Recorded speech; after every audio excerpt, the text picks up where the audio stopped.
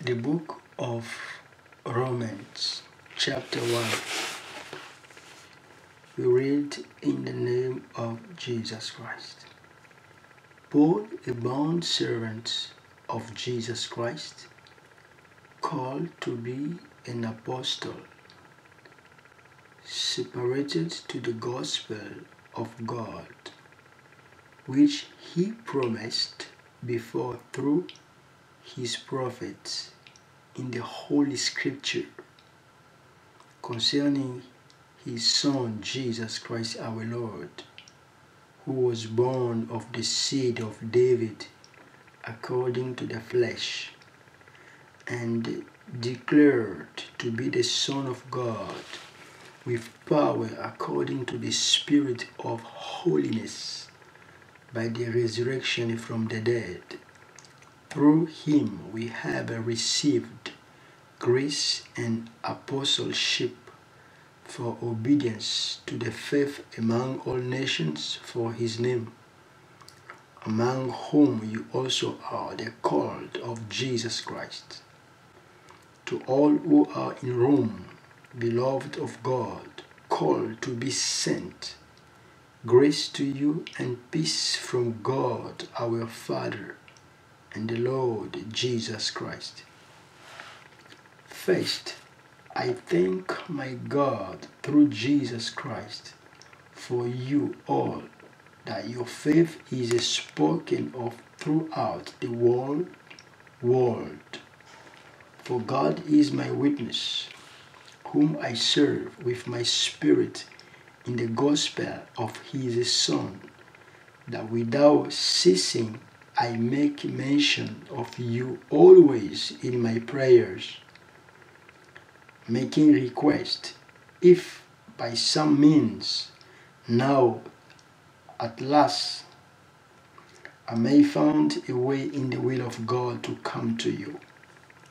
For I long to see you that I might impart to you some spiritual gift so that you may be established that is, that I may be encouraged together with you by the mutual faith, both of you and me.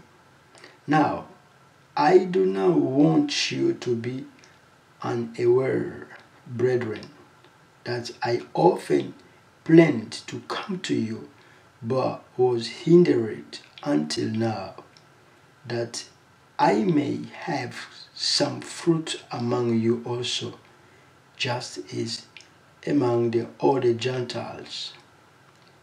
I am a debtor both to Greeks and to barbarians, both to wise and to unwise. So, as much as is in me, I am ready to preach the gospel to you who are in Rome also. For I am not ashamed of the gospel of Christ, for it is the power of God to salvation for everyone who believes, for the Jew first and also for the Greek. For in it the righteousness of God is revealed from faith to faith, as it is written, the just shall live by faith. For the wrath of God is revealed from heaven against all ungodliness and unrighteousness of men who suppress the truth in unrighteousness, because what may be known of God is manifest in them, for God has shown it to them. For since the creation of the world, his invisible attributes are clearly seen, being understood by the things that are made, even his eternal power and Godhead, so that they are without excuse. Because all thought they knew God, they did not glorify him as God, nor were thankful, but became futile in their thoughts and their foolish hearts were darkened. Professing to be wise, they became fools and changed the glory of the incorruptible God into an image made like corruptible. Man and bird and four-footed animals and creeping things.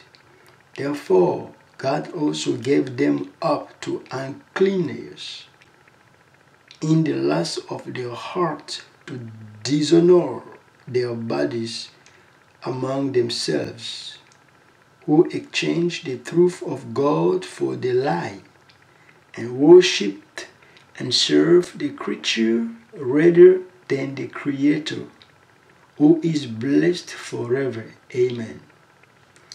For this reason, God gave them up to vile passions, for even their women exchanged the natural use for what is against nature. Likewise, also the man, leaving the natural use of the woman, burned in their lust for one another, man with man, committing what is shameful, and receiving in themselves the penalty of their error which was due. And even as they did not like to retain God in their knowledge, God gave them over to a debased mind to do those things which are not fitting, being filled with all unrighteousness, sexual immorality, wickedness, covetousness, maliciousness, full of envy, murder, strife, deceit, evil mindedness. They are whisperers, backbiters, haters of God, violent, proud, boasters, inventors of evil things, disobedient to parents, undiscerning, untrustworthy, unloving, unforgiving, unmerciful, who knowing the righteous judgment of God, that those who practice such things are deserving of death, not only to the same, but also approve of those who practice them. Thank you, Lord, for your word. May your word help us in the name of Jesus Christ. Amen.